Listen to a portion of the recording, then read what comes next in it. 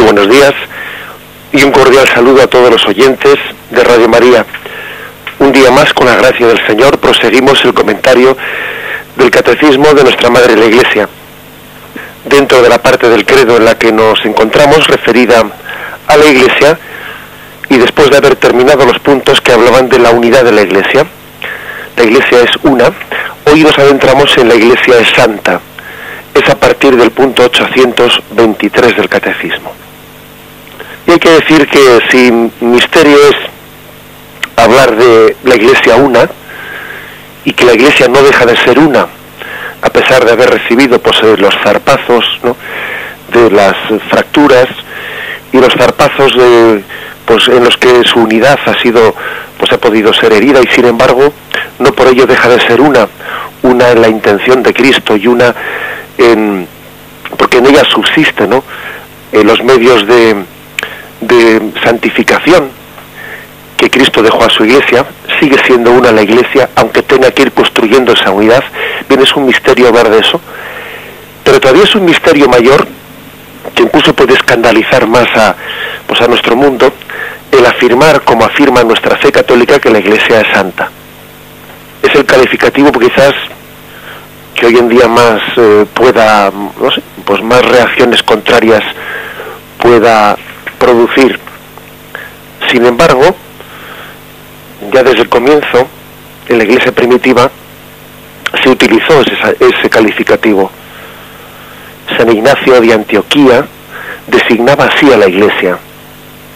Incluso pasó a, formar parte de, las, de los primeros credos desde el principio.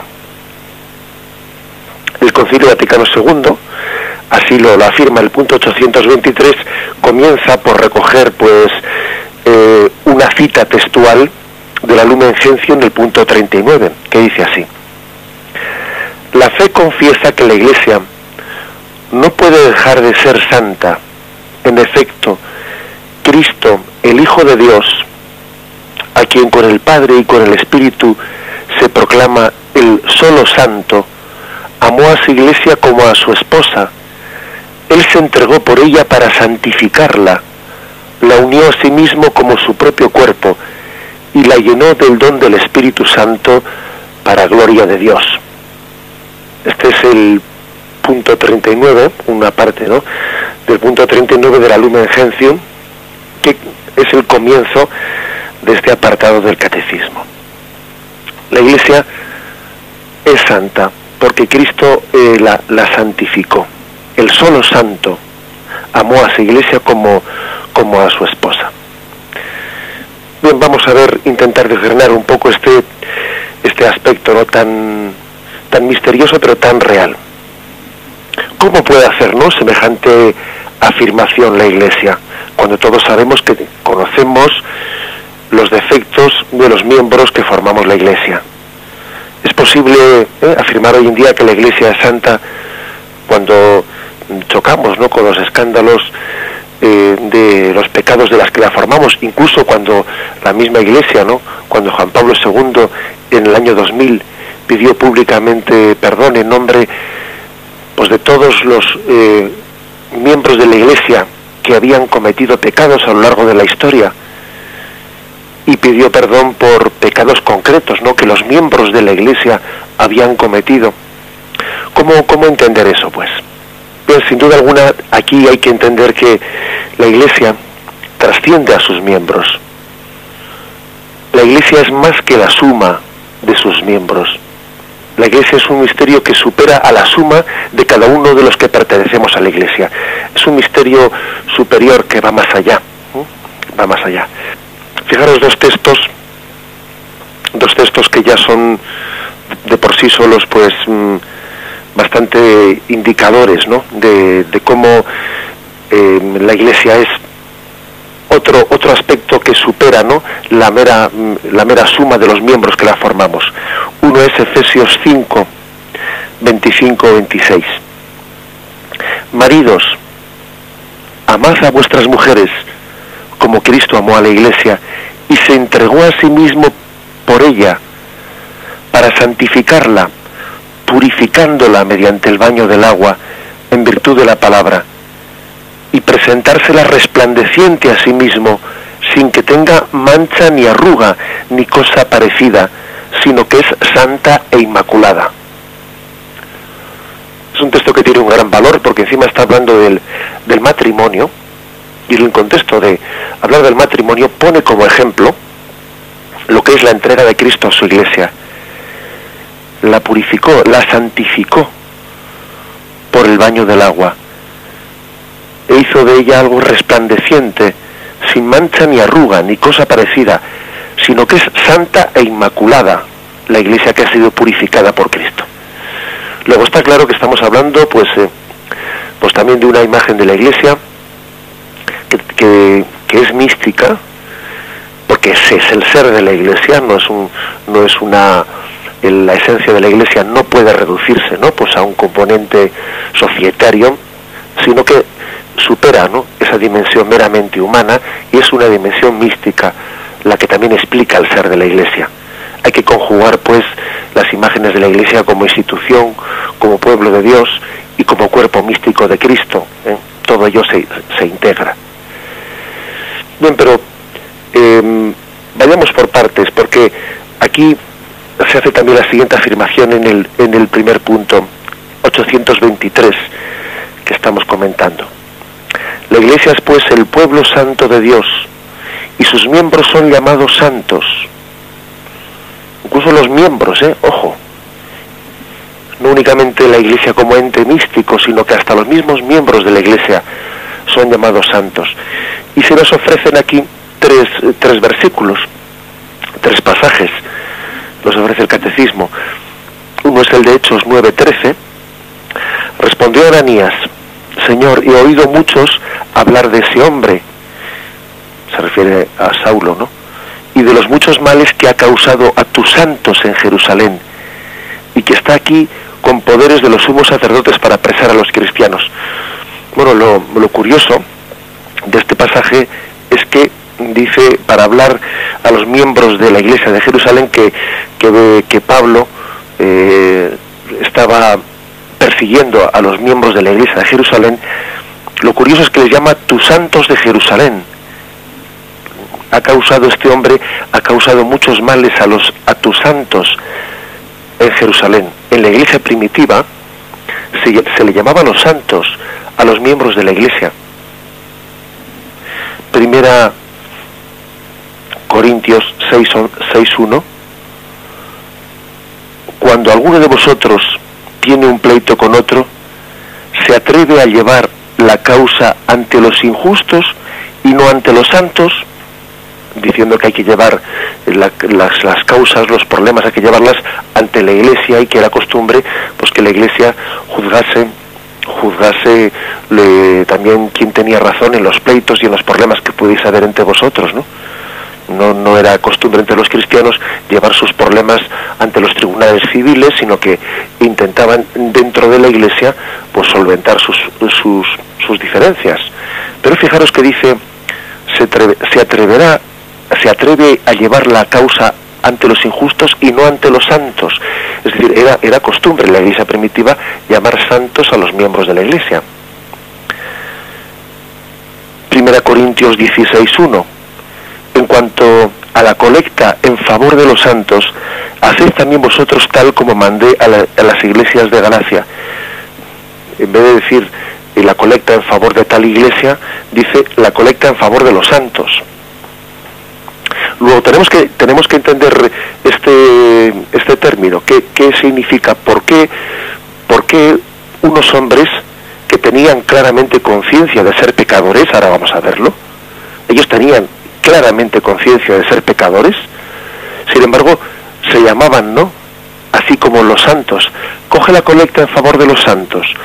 Tenéis que dirimir vuestros problemas no ante los tribunales civiles, sino ante los santos.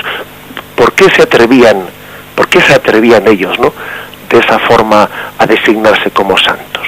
Este es un poco el, eh, pues el, el gran atrevimiento, ¿no? El gran atrevimiento que, que, que desde la luz de la fe eh, tenemos de llamar a la Iglesia santa. Incluso, como habéis podido ver, no únicamente santa en cuanto a una realidad mística, porque a veces uno podría ¿eh? podría tener el peligro de decir, bueno, es, es la Iglesia es santa en, pues en cuanto a su realidad mística, en el sentido de que es el cuerpo místico, sí, sí, no, pero fijaros que luego se le llama santos hasta los miembros que la forman. ¿Cómo se explica esto? Bien, esto es lo que, eh, lo que estos puntos del, catecismo, a partir del 823, pues eh, se, se, emplean, ¿no? Se emplea con, con fuerza para intentar mm, ver este misterio, el misterio que vamos a intentar desgranar poco a poco. Hacemos un momento de reflexión.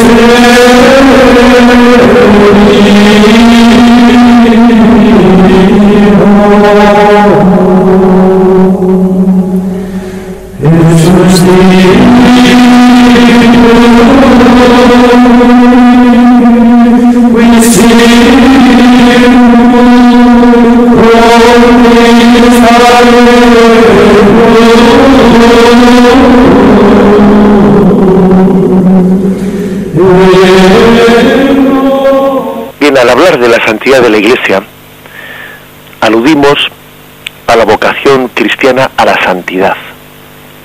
Santidad que según la Escritura pertenece solo a Dios, único santo. ¿Sabéis cómo en la Sagrada Escritura se dice, por una parte, y no llaméis santo en la tierra a nadie, sino únicamente a Dios que está en los cielos? Es curioso, ¿no? Que por una parte eh, en, la, en la Sagrada Escritura se recogen estas palabras de Jesús. Y no llaméis santo en la tierra a nadie. Uno solo es santo, el que está en los cielos. Y sin embargo, al mismo tiempo, aparentemente en contradicción con esto, digo aparentemente en contradicción, también se dice pues que todos estamos llamados a participar de esa santidad. Por ejemplo, seréis santos, porque yo, Señor y Dios, soy santo. El mismo Jesús dice, sed santos como vuestro Padre Celestial es santo. Bueno, pues parece contradictorio con lo, con lo anterior, ¿no? Pero yo creo que la, aparente contradicción pues eh, se soluciona al afirmar que se trata de una participación de la misma santidad de Dios, de una participación. Tenemos, a veces en la manera de leer la, escritura, este es un buen ejemplo, a veces la manera de leer la escritura, si no la leemos en su, en su conjunto, si extraemos pues un versículo y pretendemos oponerlo a, pues a, a otras afirmaciones de la Sagrada Escritura, podemos extraer conclusiones indebidas. A eso es a lo que me refiero que cuando uno pues coge un versículo, lo saca de contexto, lo absolutiza, lo entiende de una manera unilateral, pues a veces podemos hacer de la iglesia, perdón, de la iglesia, de la Sagrada Escritura, pues un cajón desastre, como una especie de eh, pues guerra de versículos, que uno le lanza un versículo eh, contra el otro. No, todas la, las afirmaciones de la Sagrada Escritura hay que integrarlas. Y la Escritura dice, no llaméis santos en la tierra a nadie, porque uno solo es santo, que está en el cielo. Y esa misma Sagrada Escritura dice, seréis santos porque porque sois miembros de Yahvé, sed santos como vuestro Padre Celestial es santo. Y también fijaros esos versículos que hace un rato hemos leído en la que se le llama los santos a los miembros de la Iglesia. ¿Qué pasa? ¿Que están incumpliendo las palabras de Jesús o el mandato de Jesús? No, no lo están incumpliendo. Sencillamente lo están eh, interpretando en su contexto, en su debido contexto. Porque, lo importante es entender que la santidad, ¿eh? la santidad es participación de la santidad de Dios. Nosotros, por nosotros mismos, por nosotros mismos desligados de, desligados de Jesús, pues mm, somos por nuestra propia esencia pecadores. Sin embargo, unidos a Jesús, participando de su misma ¿eh? Eh, filiación divina, somos santos. Luego no veamos contraposiciones donde no las hay, porque precisamente esos versículos de la Sagrada Escritura se, se entienden conjuntamente. Por ejemplo, cuando dice la Sagrada Escritura, uno solo es el mediador entre Dios y el hombre, Jesucristo. Y entonces eh, algunos interpretan eso y dicen, ¿ves tú? Y entonces, ¿qué sentido tiene que la Iglesia eh, se presente como mediadora? Por ejemplo, ¿eh? pongo ese caso. O, bueno, pues esa manera, esas aparentes contradicciones tienen su, su solución su, solución en esa integración, entendiendo que nosotros somos santos participando de la santidad de Cristo. Eh, los santos o la iglesia es mediadora participando de la única mediación de Cristo. Y así podríamos poner muchos ejemplos más. Aquí hay una diferencia, una diferencia, una de las cosas que caracteriza la teología católica. Frente a veces, pues otras, bueno, pues en las interpretaciones más bien luteranas o más bien eh, de, de, lo que se fue, fue llamado la Reforma Protestante, que entendían mm, este tipo de, dicotomías ¿no? pues en un sentido exclusivo. Si la Sagrada Escritura dice que solo hay un, mediador, pues entonces se rechazan las demás mediaciones, se rechaza la mediación de los santos, se rechaza la mediación de la Iglesia. Si la Sagrada Escritura dice que solo uno es santo, se rechaza la posibilidad de santificar, de hacer santos, de canonizar. Es decir, la Reforma Protestante entendió estas afirmaciones de la escritura de una manera unilateral. Sin embargo, en la, pues en la, lectura católica, ¿no? que, que empalma sin duda alguna con, con toda la eh, los padres de la iglesia de los primeros siglos, en la lectura católica se entendió de una manera integrada. Solamente hay un mediador y los demás participamos de la mediación de Cristo. Solamente hay un santo y los demás participamos de esa santidad de Jesucristo. Hay que pues integrar ¿eh? una cosa y la otra. Hay que integrar el versículo que dice mm, solamente hay un santo y no llaméis santo a nadie en la tierra y hay que integrar las, las mismas palabras de Jesucristo que dice sed santos como vuestro Padre Celestial es santo. ¿eh? Y esos versículos en los que se le llama los santos a los seguidores de, de Jesucristo. Bien, hecha esta afirmación, que es muy, muy importante. Hay que decir que en la Biblia se habla del templo santo, de la tierra santa, de la asamblea santa. Todo ello es parte de la Sagrada Escritura.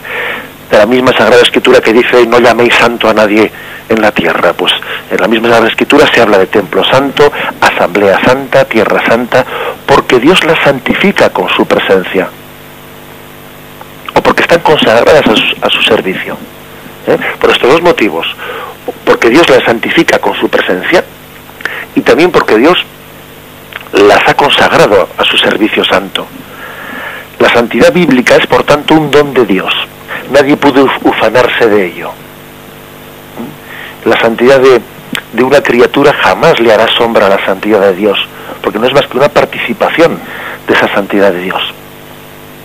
La santidad bíblica es un don de Dios y también es un mandamiento que solo por la gracia podemos intentar cumplir.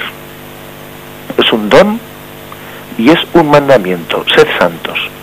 Sois santos por la gracia de Dios y debéis ser santos también por la gracia de Dios. En el Nuevo Testamento este don de la santidad comienza por ser una filiación en Cristo por obra del Espíritu. Es como una participación ¿no? en la vida trinitaria. La santidad se nos da como un fruto, un fruto del sacrificio de Cristo y por la acción del Espíritu Santo. Es un don participado. Por eso la Iglesia no cesará nunca de ser un pueblo santo, ¿eh? por diversas razones. Porque Cristo está indisolublemente unido a su Iglesia, que es su esposa. Y porque Cristo ha dotado a su Iglesia del don estable del Espíritu la naturaleza santa de Dios se comunica a los hombres por el don del Espíritu.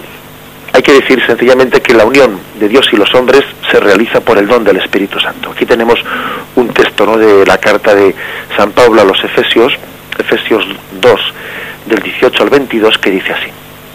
Por medio de Cristo, unos y otros, podemos acercarnos al Padre con un mismo espíritu por lo tanto ya no sois extranjeros ni forasteros, sino que sois ciudadanos del pueblo de Dios y miembros de la familia de Dios. Por Cristo vosotros os vais integrando en la construcción para ser morada de Dios en Él. morada de Dios. ¿eh? Eso es lo que le permite a la Iglesia pues vivir, vivir ese misterio de, santidad. Y aquí es donde también eh, hay que traer a colación ese texto que antes hemos citado, de cómo Cristo santificó a su Iglesia. Cristo, el Hijo de Dios, quien con el Padre y el Espíritu es el único santo, amó a la Iglesia como a su esposa, entregándose a sí misma por ella para santificarla, haciéndola santa, inmaculada, sin arruga. ¿eh? Efesios 5, 25, 26. Dice la Lumen Gentium 39 que la unió a sí mismo como a su propio cuerpo y la enriqueció con el don del Espíritu Santo para, para la gloria de Dios, hasta el punto ¿no? de llamarle los santos a los miembros de la Iglesia. La pregunta es, ¿esa santidad se refiere solamente al estado final, cuando Cristo entregará eh, definitivamente todas las cosas al Padre? ¿O también hay que decir que la Iglesia actual es santa? Sea que la Sagrada Escritura cuando habla de la santidad de la Iglesia se refiere a la Iglesia del cielo, o también se refiere a la iglesia de la tierra. La respuesta hay que decir que es santa la única iglesia de Dios, que no hay, que no hay dos iglesias, ¿eh? no hay dos iglesias. La iglesia es un misterio, es una realidad compleja, pero que al mismo tiempo es una, una sociedad pues estructurada jerárquicamente y al mismo tiempo es una comunión de fe, esperanza y caridad no podemos caer en, la tentación de hablar de dos iglesias, por una parte cuerpo místico y por otra parte sociedad jerárquica. Todo ello está integrado, todo ello. El misterio de la iglesia, que es también eh, el misterio de su santidad, consiste en esto, que es una iglesia, cuerpo místico y pueblo de, pueblo de pecadores al mismo tiempo. Si decimos que la iglesia actual es santificante, hemos de decir que es santa. Este es un gran argumento que utilizaron los padres de la Iglesia. Nadie puede santificar si no ha recibido la santidad. ¿Cómo vas a dar lo que no tienes? ¿Cómo vas a dar? Este fue otro argumento también de los santos padres para demostrar que el Espíritu Santo es persona divina. ¿Cómo no va a ser Dios si nos diviniza? Si el Espíritu Santo nos diviniza, ¿cómo no va a ser Dios? Bueno, pues esto es lo mismo, el mismo argumento. ¿Cómo no va a ser santa si nos está santificando? Si la Iglesia no santifica es que es santa. ¿eh? Este es un argumento que los santos padres utilizaron con profusión. ¿eh? Pues la Iglesia es santa porque santificada por Cristo produce a sí mismo santidad la iglesia, permitiendo la expresión así un poco provocativa, la iglesia es una fábrica de santos, una fábrica de santos, ¿no? Y eso es porque, porque Cristo le, la ha santificado para dar ese poder de santificación. Esto es lo que no se puede negar. Otra cosa es que pues los que somos miembros de la iglesia, pues no seamos santos o seamos pecadores. Ese es otro, otro tema. Otro tema que ahora vamos a abordar. Hacemos un momento de reflexión.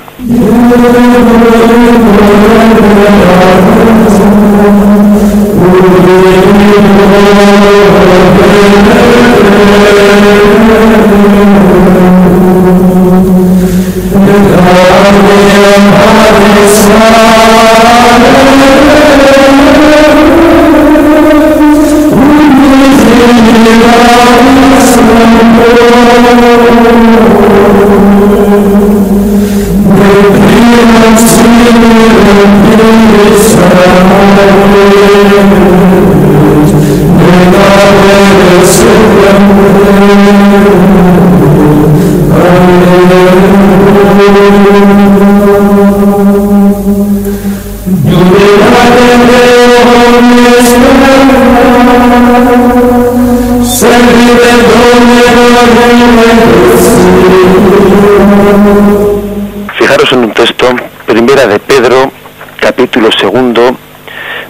del 4 al 10. Acercándonos a él, piedra viva, desechada por los hombres, pero elegida preciosa ante Dios, también vosotros, cual piedras vivas, entras en la construcción de un edificio espiritual para un sacerdocio santo, para ofrecer sacrificios espirituales aceptos a Dios por mediación de Jesucristo.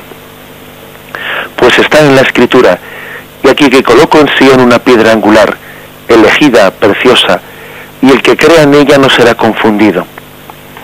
Para vosotros, pues, creyentes el honor, pero para los incrédulos la piedra que los constructores desecharon, en piedra angular se ha convertido. En piedra de tropiezo y roca de escándalo. Tropiezan en ella, pero no creen en la palabra, por esto han sido destinados.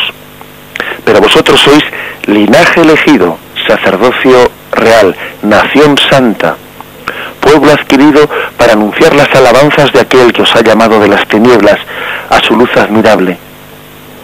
Vosotros que en un tiempo no erais pueblo y que ahora sois pueblo de Dios, de los que antes no se tuvo compasión pero que ahora son compadecidos. Un texto también impresionante, ¿no? Que es que en el que se nos dice, sois linaje elegido, sacerdocio real, nación santa, pueblo adquirido. Bien, esta, esta afirmación, pues, mm, subraya la conciencia ¿no? que ha tenido la iglesia primitiva, la iglesia desde los orígenes, de ese don de la santidad. La iglesia es santa, es santa por la palabra de Dios, conservada viva en su seno por la fuerza del Espíritu. Es santa por los sacramentos de la fe y los ministerios jerárquicos. Es santa porque en ella habita el Espíritu Santo, que es el agente de santificación el cual viene a ser como su propia alma, el alma de la iglesia.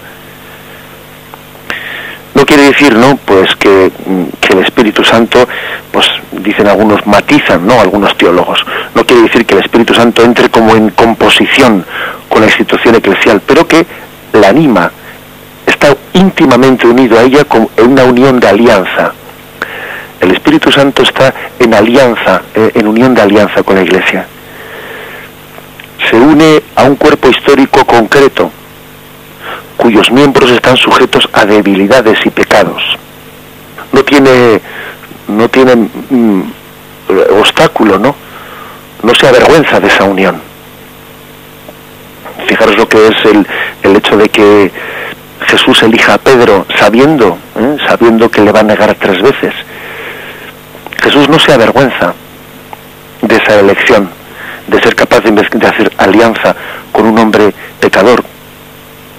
Es por ello la Iglesia de los santos en el sentido de que no deja de producir santos y frutos de santidad, ¿eh?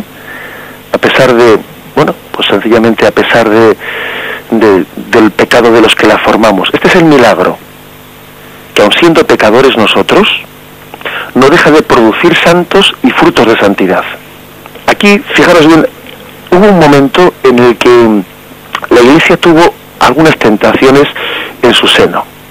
Hubo algunas herejías en los siglos primeros, herejías que algunas se llamaron montanistas, a la que perteneció Tertuliano, también luego San Agustín se enfrentó a los donatistas, etcétera. Fijaros bien, hubo unas herejías en los siglos primeros que confundieron lo que era la santidad de la Iglesia con la santidad de los miembros de la Iglesia.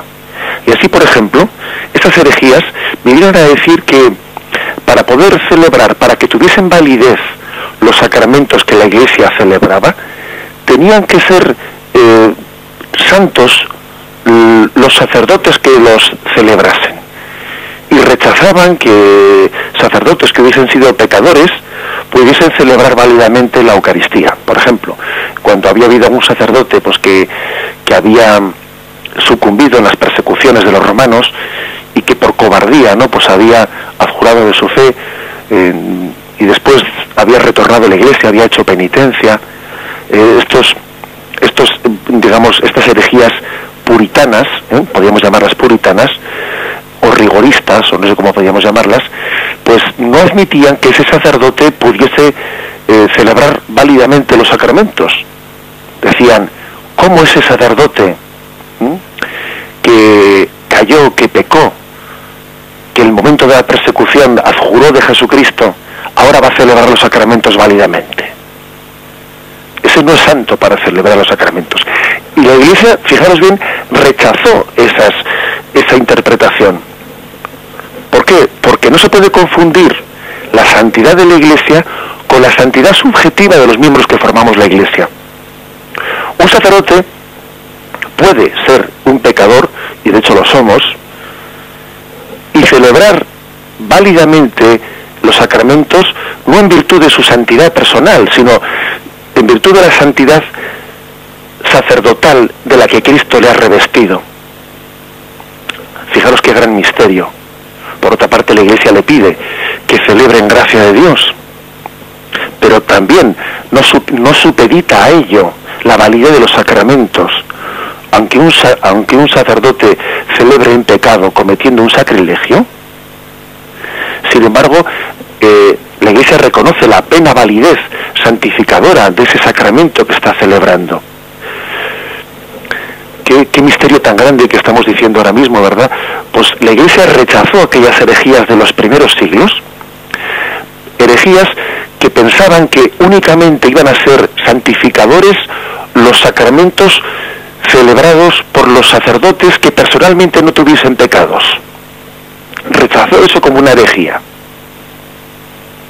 No, mm, lo fuerte, la santificación, lo santo de los sacramentos, no me lo da la santidad del sacerdote que está celebrando. No, es la gracia de Cristo la que me santifica y no la santidad subjetiva de ese sacerdote. Si bien es verdad que será una ayuda para nosotros, una ayuda pedagógica muy grande, pues que el sacerdote, que es el mediador en esa obra sacramental, sea personalmente santo y así todavía nos signifique, nos exprese más, más fácilmente la santidad mm, de Jesucristo. Pero fijaros bien, no podemos confundir una cosa con la otra. Uno recibe, recibe eh, la santidad de Jesucristo incluso de manos pecadoras, no incluso no, siempre la recibe de manos pecadoras. Dicho esto, dicho esto, em, nosotros tenemos plena conciencia, ¿no? Plena conciencia de la de nuestro ser pecador. El punto 827, ¿eh? me he saltado algunos puntos, pero luego ya tendremos ocasión de volver sobre ellos. El punto 827 del catecismo dice, mientras que Cristo, santo, inocente, sin mancha, no conoció el pecado, sino que vino solamente a expiar los pecados del pueblo, la Iglesia, abrazando en su seno a los pecadores, es a la vez santa y siempre necesitada de purificación, y busca sin cesar la conversión y la renovación. Todos los miembros de la Iglesia, incluso sus ministros, deben reconocerse pecadores. Dice Primera de Juan capítulo 1, versículos del 8 al 10. Si decimos no tenemos pecado, nos engañamos y la verdad no está en nosotros. Si reconocemos nuestros pecados, fiel y justo es Él para perdonarnos los pecados y purificarnos de toda injusticia. Si decimos no hemos pecado, le hacemos mentiroso y su palabra no está en nosotros.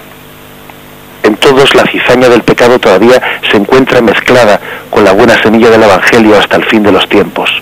Otro texto Mateo 13, versículo 24 al 30 dice, otra parábola les propuso, el reino de los cielos es semejante a un hombre que sembró buena semilla en el campo, pero mientras su gente dormía, vino su enemigo, sembró encima cizaña entre el trigo y se fue.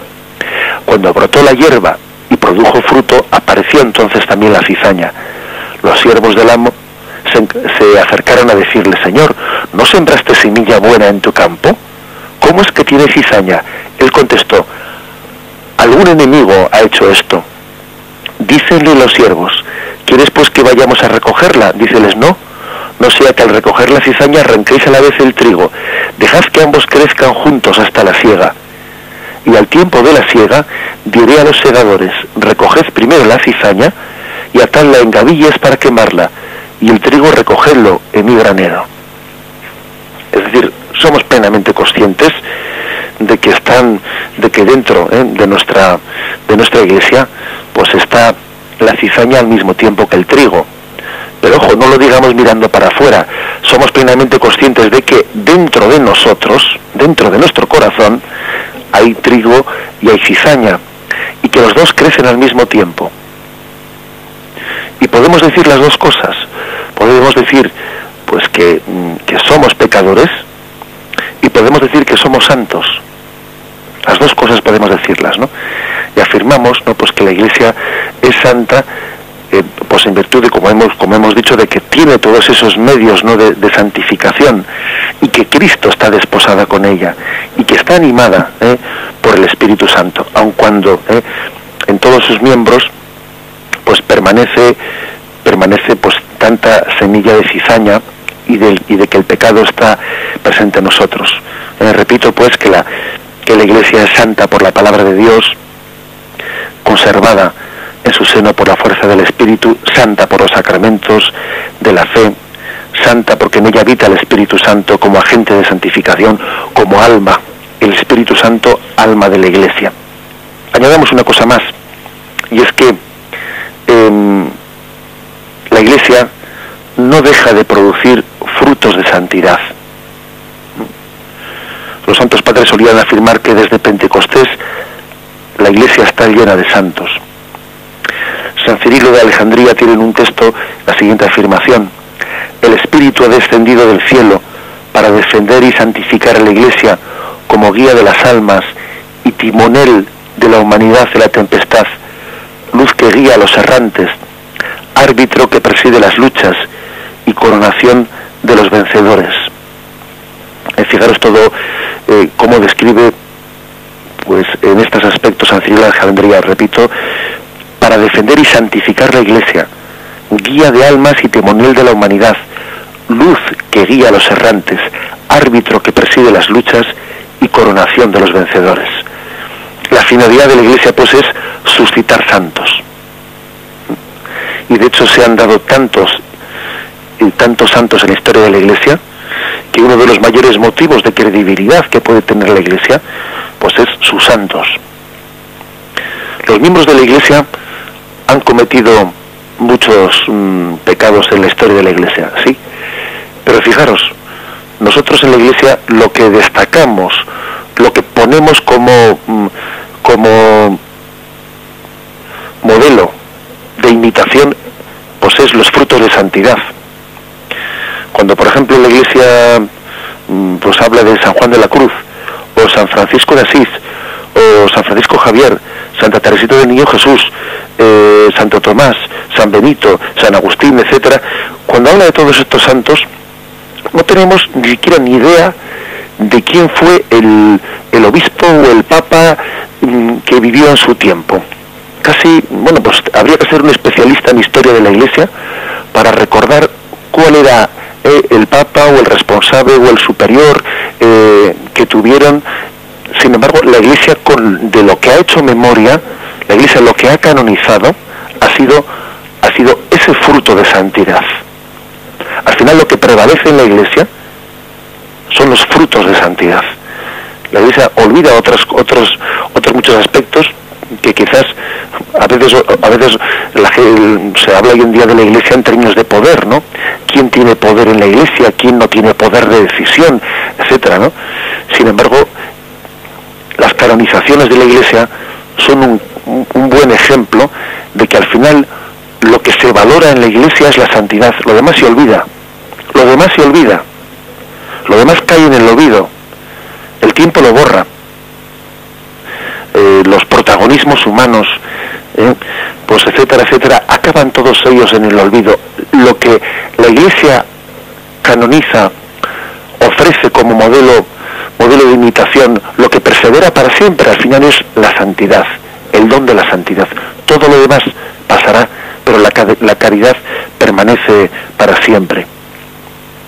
Por eso uno de los eh, de los signos de credibilidad más, más fuertes que puede llegar a tener, ¿no? Pues es sencillamente sus frutos de santidad. La Iglesia no ha cesado de suscitar santos, de educarlos, de alimentarlos, es lo que más resplandece como motivo de credibilidad, ¿no? Lo cual no significa ¿eh? que fuera de los muros de la iglesia no se den también signos de santidad. Por supuesto que también. ¿eh? El Espíritu Santo sopla donde quiere. Pero se puede decir, ¿no? El cristianismo aparece, ¿no? Pues en la iglesia con, toda esa plenitud de fuerza santificadora que ha tenido. De hecho, pues eh, no en vano la iglesia católica pues junto a la iglesia también ortodoxa, ¿no?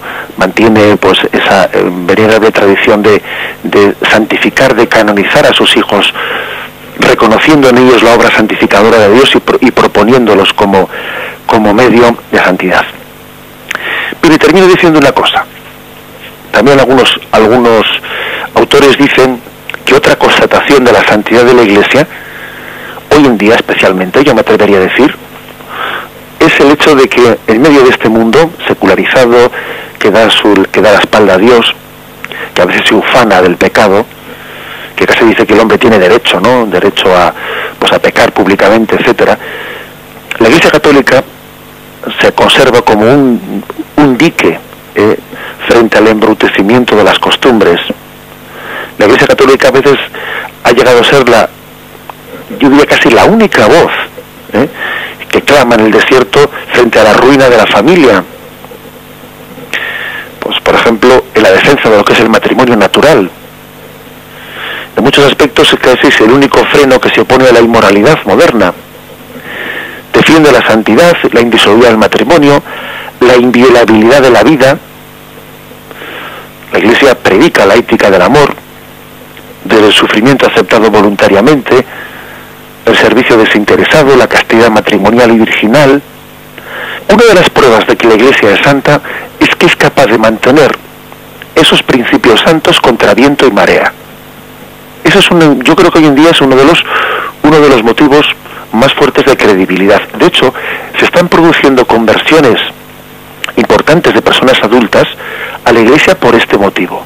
Si la Iglesia es criticada por este motivo, que nos quede claro que muchas personas se están acercando a la Iglesia Católica por este motivo, porque ven en ella, ven en ella, pues esa Iglesia de Cristo que es capaz de clamar en el desierto sin acomplejarse, sin avergonzarse, ¿eh?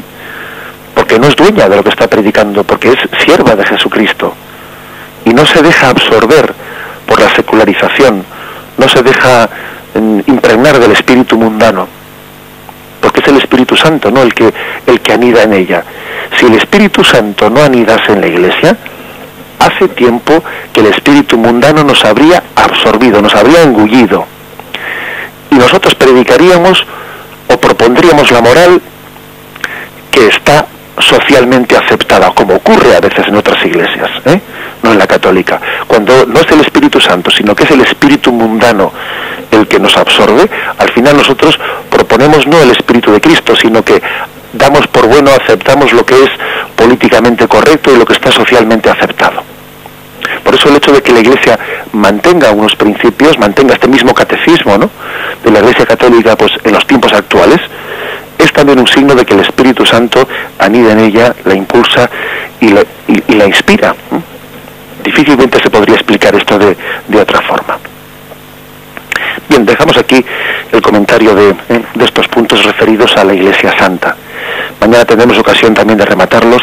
Son del 823 al 829 mm, destinaremos también un día más para completar eh, la explicación de, que la iglesia, de, este artículo de la Iglesia Santa. Damos paso ahora a la intervención de los oyentes. Podéis llamar para hacer vuestras preguntas o hacer vuestras aportaciones. Podéis llamar al teléfono 917 107 700. 917 107 700.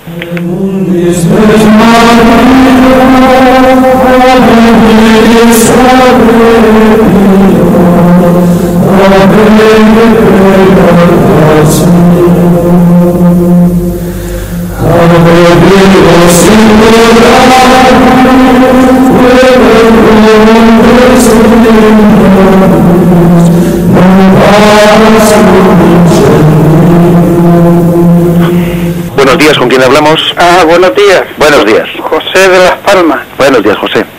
Mire, no va con lo de hoy, va con lo de ayer porque no pude entrar y la pregunta que contestó de la semana pasada. De acuerdo. En cuanto este señor, oye, hay varios señores en esas condiciones, cuando eh, tienen que renunciar al matrimonio involuntariamente, no voluntariamente. Sí. Entonces, eh, bueno, eh, yo tengo experiencia de, de eh, eh, unos señores, por lo menos dos, de que en estas circunstancias, ¿sabe? Uno de ellos, mm, pues le dijo a un amigo mío, mira, eh, tenía varios hijos y le daba la mitad del sueldo a este amigo mío para que se lo diera, de qué manera, para que los niños no pasaran hambre. ¿Me explico? Sí, ¿Me está oyendo? Sí, sí, sí, lo escucho perfectamente.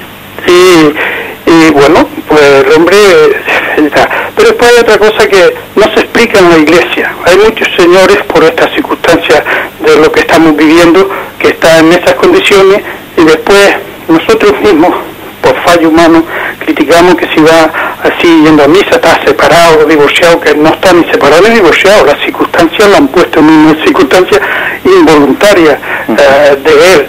Eh, tanto se puede dar hombres como mujeres, eh, pues puede seguir practicando su, si mientras él respete y sea fiel a la iglesia, yo mm, me gustaría que usted eso que lo explicara si es lo que pueda es decir, lo que, porque para que tenga ya, ya con esto termino, o sea, para que la gente, nosotros mismos no, no echemos por leña el fuego por, eh, por inexperiencia, es decir, por ignorancia, um, dicho la ignorancia con buen sentido, religiosa, es decir, o, poca información. Y sería bueno que, los, que esto se, se explicara porque, porque, como usted sabe, hay mucha gente en esas condiciones. Gracias. Bien, gracias a usted. Sí, ciertamente lo que dice el oyente es cierto, es decir, eh, tenemos que tener una gran comprensión y ayuda y apoyo pues a personas que han, han padecido no han padecido más que más que bueno, haber sido ellos los agentes de una ruptura matrimonial pues la han padecido y, y, bueno y, uno le, escucho por, la radio sí, de acuerdo sí. Mm, habiendo padecido no pues esa ruptura matrimonial pues están llamados lógicamente pues a, eh, a seguir adelante en fidelidad a Jesucristo y en fidelidad también a aquella alianza que ellos que ellos no han no han querido romper y están llamados a, a, la fidelidad y a luchar también contra tentaciones porque es que evidentemente esas personas tendrán una serie de tentaciones de decir bueno pues si me si mi cónyuge rompió no pues este matrimonio nuestro y ahora se ha juntado con otra persona yo por qué no voy a hacer lo mismo yo bueno yo creo que es una una situación en la que puede haber tentaciones muy fuertes, ¿no? Pero yo creo que deben de deben de esas personas de acercarse todavía con más fuerza si cabe, ¿no? Al Señor en la recepción de los sacramentos, en la oración para obtener de ahí todas las fuerzas, ¿no? Para seguir siendo fieles, ¿no? A pesar de haber padecido la infidelidad. Y también me atrevería a decir incluso que es importante que igual esas personas escuchen en su corazón, ¿no? Pues una llamada, pues a un compromiso a veces de caridad y de entrega al prójimo para que también su corazón, eh, su afectividad descanse, ¿no? En la entrega al prójimo, porque está claro que el corazón no está hecho para estar eh, puesto en el aire, ¿eh? Y entonces, pues hay personas que en esas situaciones también de viudedad, ¿eh? no únicamente de haber padecido una separación, sino también de viudedad, etcétera, son ocasiones en las que el Señor a veces da un llamamiento para que uno llene su corazón pues en la entrega al prójimo. Y en vez de estarse autocompadeciendo pues mira mira que solo estoy mira cómo eh, pues se están riendo de mí mira cómo mi, mi, mi, mujer pues ha ido con otra persona o mi marido se ha ido con otra persona en vez de estarse autocompadeciendo y sufriendo y metiendo el dedo en la llaga a veces es bueno olvidarse uno, e intentar olvidarse ¿no? de, ese sufrimiento entregándose al prójimo en obras de caridad, entregándose a los hijos, entregándose pues, a, la familia, y así uno se aleja más de tentaciones. ¿eh? Tenemos que tener todo el apoyo y comprensión hacia estas personas. Adelante, demos el paso al siguiente oyente. Buenos días. Sí, buenos días, padre. Buenos días, adelante. Mire, mm, casi casi ya me ha contestado la pregunta que yo le quería hacer. Yo soy catequista y claro, a veces pues los niños pues hay algún pequeño problema pues con el sacerdote, ¿no? Y ellos pues siempre me dicen, "Ah, pues no voy a misa a María porque pues porque el cura no no me da el testimonio y porque es así o es de esa manera, ¿no?" Entonces yo pues le suelo decir de esta manera que casi casi ya le digo, "Padre, que me lo ha contestado", ¿no? Entonces yo les digo, "Bueno, pero es que mira, el hecho de que el sacerdote tenga sus pecados o tenga sus debilidades no importa, porque en el momento que está haciendo la Eucaristía, que está consagrándose, e, es Dios, no, no es el sacerdote, no es un ser humano, se consagra pues a Dios. Entonces en ese momento es cuando, cuando el sacerdote deja de ser hombre y se convierte en discípulo de Jesucristo. Por lo tanto, para vosotros en ese momento no es un ser normal y corriente, es Jesucristo que se presenta en esa persona, ¿no? Entonces, claro, ellos quedan así un poco sorprendidos. Digo, pues entonces tenéis que ver al sacerdote como si vierais a Jesucristo, no como una persona pecadora o como una persona que tiene sus debilidades, que las tiene pues como somos nosotros, porque el hecho de ser un sacerdote pues tienen las mismas debilidades que tiene un ser humano. Entonces, no penséis en eso. Y bueno, padre, casi casi ya le digo que lo entendí perfectamente, porque le quería hacer esta pregunta cuando usted estaba explicando todo, padre. De acuerdo, pues le añado yo una pequeñita cosa así, por, eh, se la respondo por la radio. Vale, muchísimas gracias, Sí. padre. Gracias por el Vale. programa. A veces yo un poco en medio en broma, medio en broma, medio tal, he solido añadir pues el siguiente comentario. Oye, si a ti te tocase la, la lotería y tuvieses que cobrar no sé cuántos millones y resulta que el que estuviese allí repartiendo, ¿no? Repartiendo el premio, pues allí en, el, pues en determinado banco donde fueses a cobrarlo, si resulta que fuese una persona que te resultase antipática, poco atrayente, eh, poco virtuosa, que más bien, tú dejarías de recoger el premio por ese motivo, o más bien tú irías a recoger el premio independientemente que la persona esa tenga sus defectos y tenga, pues evidentemente todos cogeríamos eso, ¿no? Bien, pues esos millones no son nada comparando con la gracia de Cristo que se nos dan los sacramentos, ¿eh? O sea que si se me permite la broma, apliquémosla a la realidad, porque, porque sería absurdo, sería ridículo eh, que por que los defectos de las personas pues fuesen un obstáculo que nos separase de la gracia de Cristo. Adelante, damos, damos para el siguiente oyente. Buenos días. Buenos días. Mire, quería hacerle una pregunta, padre, porque a veces mm, tengo ciertas dudas. Mm, Si Cristo funda su iglesia y como cabeza pone a San Pedro, pues yo lo que no entiendo es por qué la doctrina de la iglesia, por qué todo está basado en San Pablo, y por así decir me da la sensación, a mí personalmente, que quizás esté equivocada, que San Pedro se queda en una especie de rinconcillo y no, no, no nos acordamos de él para nada. Eso es lo que yo quería que usted me explicara un poquito. De acuerdo, bien. Le respondo a la radio, ¿eh? Muchísimas gracias. Yo creo que, que la impresión que tiene usted no, no, no es correcta. Lo que ocurre es que San Pablo escribió muchísimas cartas, cosa que San Pedro tiene muy pocas cartas. Las cartas de Pedro son muy cortas.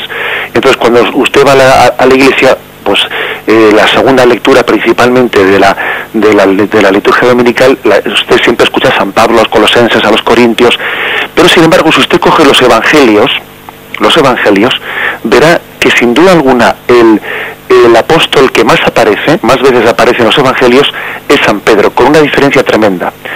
Si no recuerdo mal, me parece que San Pedro aparece en el evangelio en el Evangelio unas 114 veces su nombre y el segundo apóstol que más aparece es San Juan, que aparece unas 42 veces. Fíjese usted desde, desde 114 hasta 42, qué diferencia tan grande entre pues el, el apóstol que más presencia tiene en el colegio apostólico es sin duda alguna San Pedro. Mm, eh, los evangelios están continuamente haciendo referencia a cómo Pedro tomó la palabra y dijo, o sea, Pedro tenía en el colegio apostólico eh, pues una, una primacía incluso en el tomar la palabra, en el dirigirse al Señor y eso está claramente reflejado en los evangelios. ¿eh? Los evangelios hasta el punto que, como he dicho, hay una diferencia tremenda en las menciones que se hacen del resto de los apóstoles. Otros apóstoles casi ni son mentados. Eh, esa impresión que tiene usted de San Pablo es exclusivamente por el tema de las cartas. Hay muchas cartas paulinas, pero sin embargo eh, digamos que la iglesia est- está afianzada pues eh, en, la roca en la roca que es Pedro adelante damos paso a una llamada más. Sí, buenos días. buenos días adelante. Eh, soy aquí gente de Segovia, miren, es que mm, yo no entiendo cuando dicen, hace poco tiempo leí, vamos, que me gusta leer la Biblia y voy a la iglesia, entonces dice que la lujuria de los pecados de fornicación se quedan en el cuerpo y como diciendo que son más débiles perdonables que otros. Y también aquí, por ejemplo, dicen, aquí la gente se burla, dice que el matrimonio se puede la lujuria cuando se quiera. Y yo digo, digo, no señor, el matrimonio que guarda la castidad. Digo, tener hijos sí, pero si no, no, y la gente se burla, se ríe, se mofa. Y yo digo, bueno, que los, los pecados de lujuria, y estamos de acuerdo que hay que luchar con nuestros pecados, de acuerdo, porque es una lucha. Pero que yo, por ejemplo, cuando digo, pues es un, cuando dice el Evangelio, dice, es que los, los pecados son un zampado, que el pecado de lujuria o fornicación que quedan en el cuerpo y son, no sé, que no entiendo eso, muy bien. Gracias, ¿sí? bien a usted Eh, hombre yo creo que la referencia que hace que hace ese texto bíblico es que verdaderamente pues mm, eh, todos los pecados nos afectan, ¿eh? todos los pecados nos afectan, o sea, no, vamos a decir que hay pecados que, que sean como exteriores, cada uno si forzases eh, pues ese texto que, dice el oyente, em, eh, tampoco cabe decir que haya pecados que sean indiferentes para nosotros, ¿no? Pero sí quiere decir que el pecado de la lujuria es un pecado en el que hay un componente, un componente interior, porque no podemos pensar como que el cuerpo es una parte de mi yo ¿eh? Uno no puede, no puede pensar que el cuerpo es como una especie de prótesis añadida al ser personal, no, sino que forma parte de mí yo. Con lo cual, como si alguien se entrega eh, carnalmente a otra persona, está como haciendo una alianza falsa con esa persona. Está entregando su cuerpo, no está entregando su alma. Con lo cual hay una especie de, ¿cómo podríamos decir? Em, una partición interior entre lo que es el cuerpo y lo que es el alma. Es como decir, si yo entrego mi cuerpo, pues eh, a quien a quien no estoy unido en alianza de amor, estoy como creando una fractura interior, una fractura interior porque estoy disociando el cuerpo del alma y eso y eso produce la fractura interior ¿eh? de la cual habla ese texto de, eh, de San Pablo que el oyente ha hecho referencia. Bien, hemos llegado pues a, hemos cumplido el tiempo y mm, damos gracias al Señor por haber podido tener este comentario del catecismo de nuestra Madre la Iglesia. Con la gracia del Señor continuaremos mañana. Alabado sea Jesucristo.